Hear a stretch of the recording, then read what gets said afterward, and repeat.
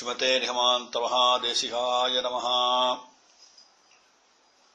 இப்போ நம்ம சுவாமி தேசியனுடைய நவமணி மாலை பாசுரம் முதல் பாசுரம் பார்த்துட்டு இருக்கோம் அதுல முதல்ல பன்னெண்டு வரிகள் இது வியாக்கியானம் பார்த்தாச்சு. அடுத்தது பதிமூணாவது வரியான அருமறையந்தம் அமர்ந்த பண்பின அப்படின்னு சாதிக்கிறார். அருமறை அந்தம் அமர்ந்த பண்பின அதாவது இந்த திருவடிகள் வேதத்திலே சொல்லப்பட்ட திருவடிகள் அங்கே அமர்ந்து இருக்கு வைலட்சணத்தோட இருக்கு அப்படின்னு காட்டுறாருங்க சுவாமி தேசிகன். அதாவது இந்த திருவடிதான் ஒரு ஜீவனை கடை தேத்தனம் அதாவது பிராபியம் பிராபகம் அப்படின்னு சொன்னா எது பிராபியம்? நம்ம எதை செய்யணும்? எங்க போய் அடையணும்? அப்படின்னு தெரியணும்.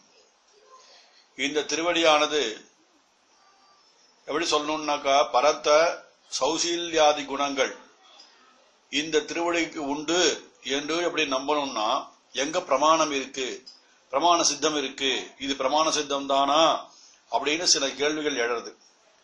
என்னமோ பெருமாளுடைய திருவடியை பற்றினாக்கா எல்லாம் கிடைச்சிரும்னு சொல்றாளே. இது எங்க வேதத்துல எங்க சொல்லிருக்கு? வேதம் தானே இந்த லோகத்துக்கு பிரமாணமா இருக்கு அப்படின்னு சில பேர் கேள்வி கேட்கிறா. அதுக்கு இங்க வியாக்கியானம் சாதிக்கிறார். அதாவது அருமறை அப்படின்னா ரொம்ப சு- சுதி சதுர்வேதம். இது எப்படி எப்படி இருக்குன்னாக்கா இது வந்து அபௌருஷேயம். யாராலும் உருவாக்கப்படவில்லை.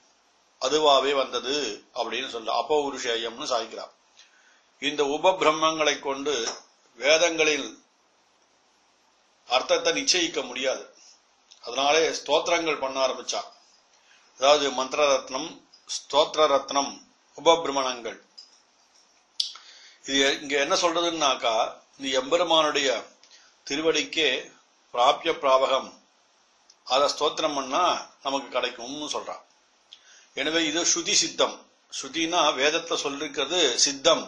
வேத சம்மதமே அப்படின்னு சொல்றாங்க அதாவது இந்த மூல பிரகிருதி இருக்கு இல்லையா? வேதைச்ச சர்வ வேதை ஹவமேவ வேத்யா வேதத்துல சர்வ வேதத்திலையும் அகம் நானே வேத்யன் அப்படின்னு சாய்கிற பெருமாள். அந்த மாதிரி சரி வேதத்துல சொல்லியிருக்கோன்னு சொல்லிட்டீங்கோ வேதத்துல எங்க சொல்லிருக்கு? பெருமாளே வேதம் சொன்னீங்கோ. பெருமாளை சொன்னா திருவடியை சொன்ன மாதிரி தானே. அதனாலே இது எப்படி நம்ம எடுத்துக்க முடியும்? ஆழ்வாராதிகள் சொல்லியிருக்காளா அப்படின்னா ஆழ்வாராதிகள் சொல்லியிருக்கா.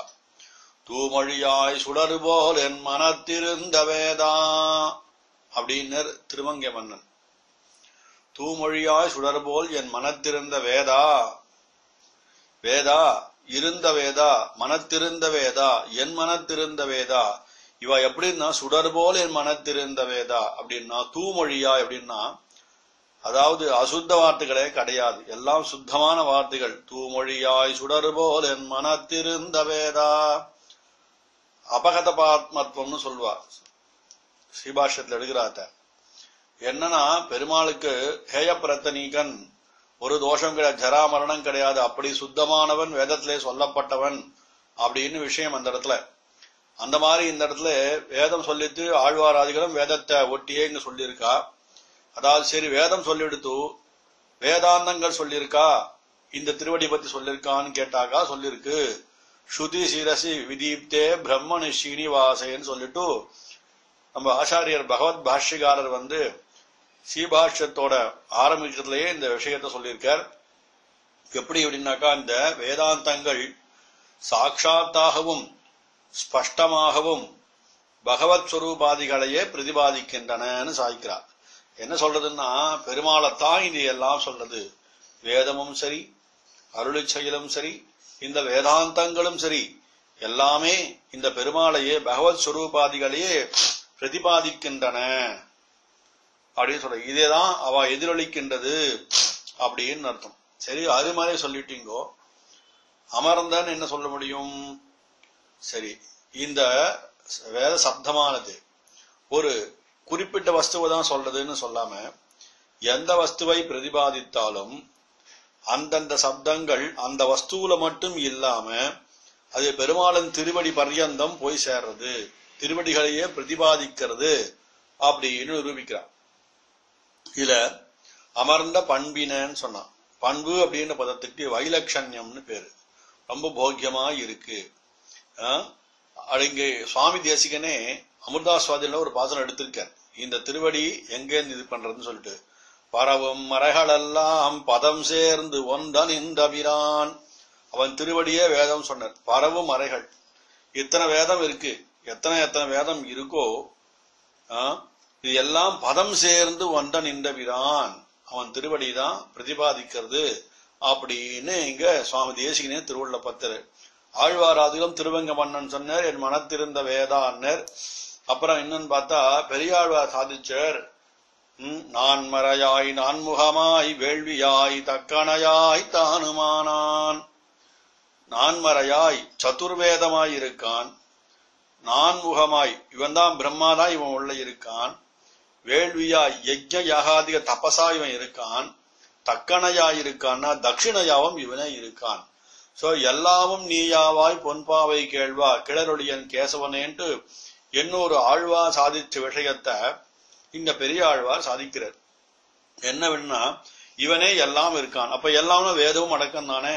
பெருமாளுடைய வேதம் அடக்கம்னா வே- திருவடியும் அதே பிரதிபாதிக்கிறது. இதுல ஒன்று ஒரு சம்சயமும் நமக்கு இல்லையே ஒரு சந்தேகமும் இல்லையே. அதனாலே இங்க சுவாமி தேசிகன் சாதிச்சது என்ன அப்படின்னாக்கா அருமறையந்தம் அமர்ந்த பண்பின. அருமறையிலையும் இந்த பெருமாளுடைய திருவடியை தான் சொல்லியிருக்குன்னு இங்க வேதத்திலையும் வேதாந்தத்திலையும் ஆழ்வாருடைய திவ்ய சூத்திகள்லையும் சுவாமி தேசிகனுடைய கிருதிகள்லையுமே இந்த விஷயங்கள் சொல்லப்பட்டிருக்கு. அதனாலே அப்படி உயர்ந்ததான திருவடி. இந்த திருவடி தான் முன்ன சொன்ன பாசரத்துல சிறதனில் அணங்குமிழ்ந்தன அப்படின்னர். இதுவே இந்த இந்த அகலிகை சாபம் நீக்கிய திருவடி இந்த திருவடி என்ன சொல்றதுன்னா வேதம் இந்த திருவடியை சொல்றது அப்படின்னு சாதிச்சார். அடுத்தது அடுத்த வரியிலே அயன்முடி தன்னில் அமர்ந்துயர்ந்தன. வேதமே வேதாமே பரமம் சக்ஷு அப்படின்னா வேதாமே பரமம் சக்ஷு அப்படின்னா அதாவது வேதத்தையே கண்களாக உடைய பிரம்மா இந்த தெய்வநாயகனுடைய திருவடிகளை சிரசா வகிக்கிறான் அப்படின்னு சொல்றாங்க. ஏன் வேதத்தே கண்ணு. ஏன்னா சத்துர் வேதத்தும் கையில வச்சிருந்துருக்கார் அவர். பெருமாள் கொடுத்த வேதத்தை தொலைச்சுட்டார். திரு பெருமாள் திருவி ஹம்சரூபியா வந்து மறுபடியும் வந்து கொடுத்துட்டு ஒரு ஹயகிரீவ கடாட்சம் பண்ணிட்டு போனார்.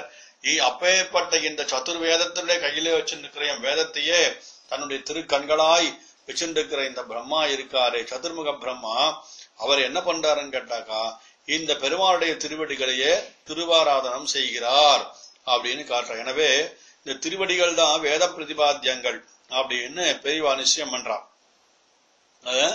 அந்த மாதிரி இந்த ஜகத்பதிம் இந்த ஜகத்துக்கு அதிபதியாய் இந்த ஜகத்தை நடத்துறதுக்கு துவாம் உபாசே துவாம் உபாசே உன்னை உபாசிக்கிறேன் அப்படின்னு இந்த அயன் இந்த சதுர்முக பிரம்மா சாதிக்கிறார். அதாவது எம்பெருமான் கொடுத்த தன் அதிகாரத்தை அதை நடத்துவதற்கு வழி நடத்துவதற்கு அந்த பெருமாளையே ஆசிரயிக்கிறார்.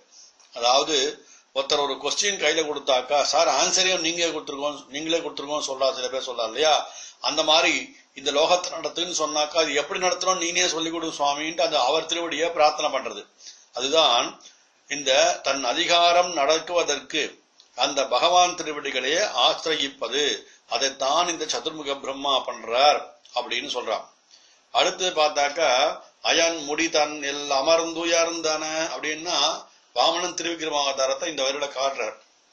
இதுக்கு பேர்னே சொல்லியாச்சு சுவாமி?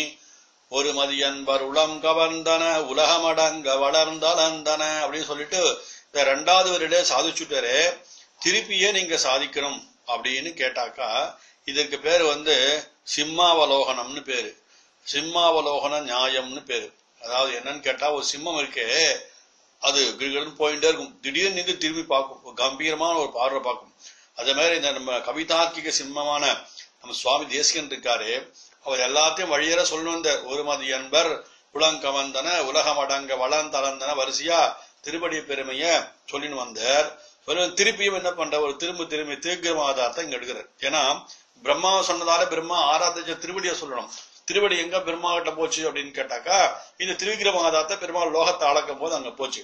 அதனாலே சிம்மாவலோகனம் பண்ற இந்த இடத்துல அப்படி பிரம்மனால் ஆராதன காலத்தில் சிரசா தரிக்கப்பட்ட சத்தியலோகம் தாண்டி இந்த திருவடி போச்சு அண்ட பிண்டத்தையும் தாண்டி போச்சு. அப்ப இங்க திருவாராமண்டர் இந்த பிரம்மா அதுதான் இங்க காட்டுறார். எவனே இந்த பிரம்மனாலும் அறிய முடியாதபடி மகிமை உடைய இந்த தெய்வநாயகன் திருவடிகள் அப்படின்னர். பிரம்மாவால திருவடியை பத்தி கூட தெரிஞ்சுக்க முடியாது. என்னன்னு கேட்டா பெருமாள் இன்னும் என்ன ஆழ்வார் சாதிக்கிறேன்னா பெருமாளாலேயே அவன் திருப்படியை தெரிஞ்சுக்க முடியாதுன்னு சாதிச்சார். அதான் சொன்னார் தனக்கும் தன் தன்மை அறிவறியானை தடங்கடல் பள்ளியம்மானை. அவனை பத்தியே அவனுக்கே தெரியாது அவன் திருவடியை பத்தி எப்படி சுவாமி தெரியும்? பிரம்மனாலே மறிய முடியல பெருமாளாலேயும் தன் திருவடி மகிமை தெரிஞ்சுக்க முடியாது. ஏன்னா அவன் ஒரே அப்படி இருப்பான். அந்த திருவடியானது அப்பேற்பட்ட ஒரு அனுகிரகம் பண்ணிடும் எல்லாருக்கும். அதனாலே இந்த அகிந்தபர மகாத்மத்திலே பிரம்மா பிரம்ம தீர்த்தத்திலே அருகில இருந்து தபஸ் பண்ணுன்னு பெருமாள் நியமனம் பண்ணிருக்கார். அதுதான் இந்த பிரம்மா பண்ணிட்டு இருக்கார் பிரம்ம தீர்த்த சமீபேது தபகா குர்வந்தி தன்னிரதம் திஷ்டது அப்படின்னு இங்க சாய்கிறார் அதாவது பூமறையோன் பாராயணத்தில் பணியும் ஐந்த நகர்ன்ட்டு மும்மணி கோவில் சாதித்த விஷயத்த இங்க ஒரு கோடு போட்டு காட்டார் சுவாமி தேசிகன். அதான் இந்த விஷயத்த இங்க பிரம்மா இங்க தபஸ் பண்ற பிரம்ம தீர்த்த தபஸ் பண்றான்னு பிரம்மாண்ட புராணம் இருந்தாலும் இங்க சுவாமி தேசிகன் அந்த தெய்வநாயக பஞ்சாசத்துல ஒரு வரியா காட்டிட்டு போறார். தீர்த்த இருவத்தம் விருஜின துர்கதிநாசனார்கைஹி அப்படின்னு தீர்த்த விருதம் விரிஜின துர்கதி நாசனார்கைஹி இப்படி இந்த பிரம்மா எம்பெருமானுடைய நியமனத்தின் பேர்ல பிரம்ம தீர்த்த சமீபேது தபகா தபஸ் பண்றார். இங்கே பன்னெண்டு இருப்பா அப்படின்னு பெருமாள் திஷ்டது அப்படின்னு பெருமாள் சாதிச்சது கோசம் இந்த இங்க தபஸ் பண்ணிட்டு இருக்க பிரம்மா. அப்படின்னு காட்டர் இந்த ரெண்டு வரியிலையும் இந்த வரியிலே அயன் முடிதன்னில் அமர்ந்துயர்ந்த திருவடிகள் அப்படின்னு காட்டர். இந்த வரி சொல்லும்போது திருக்கிரமாவத்தை எடுத்து நமக்கு சொன்னா விஷயம் புரியும்ட்டு சுவாமி தேசியலிங்க சாய்கிறார் முதல்ல சொல்லப்பட்டது இந்த திருமடி எங்க சொல்லிருக்குன்னா வேதத்துல சொல்லியிருக்கு அருமறை அந்தம் அமர்ந்த பண்பின பண்பை உடையது அமர்ந்திருக்கிற பண்பை உடையது அந்தம் அமர்ந்த பண்பை உடையது. என்ன எதுன்னு கேட்டா அருமறை அந்தம் அமர்ந்த பண்பு. அருமறை வேதத்திலே இந்த திருவடி தான் சொல்றது. வேதேச்ச சர்வ வேதை ஹவமேவ வேத்தியகான்னு சொன்னதை வச்சு வேத வாக்கியத்தை வச்சுன்னும் சுதிசீரசி விதித்தே பிரம்மணி ஸ்ரீனிவாசி என்ற வேதாந்த வாக்கியத்தை வச்சுன்னும் தூமொழியாய் சுடர்போல் என் மனத்திருந்த வேதா என்ற ஆழ்வாடு திவ்ய சூத்திகளையும் வேச்சுண்டு இந்த திருவடியானது அருமறை அந்தம் அமர்ந்த பண்பின சாட்சாத்தாக வேதத்தை சொல்லப்பட்டது என்றும் அயன்மொழி தன்னில் அமர்ந்து உயர்ந்த திருவடிகள். அவன் அவன் சிரசிலேப்பட்டு அவன் திருவாராதனம் பண்ண சத்தலோகத்தையும் தாண்டி அண்டபிண்டத்தையும் தாண்டி சென்று உயர்ந்த திருவடிகள் இந்த எம்பெருமானுடைய சாட்சாத்தா தெய்வநாயகனுடைய திருவடிகள்னு சொல்லிட்டு இந்த ரெண்டு வரிகளையும் நமக்கு பெரிவா வியாக்கியானம் சொல்லித்தரா. அடுத்த ரெண்டு வரிகளும் நாம் நாளைக்கு சேர்க்கலாம் அடியேன். கவிதார்க்கிக சிம்மாய கல்யாண குணசாலினே ஸ்ரீமதே வெங்கடேசாய வேதாந்த குரவே நமஹா.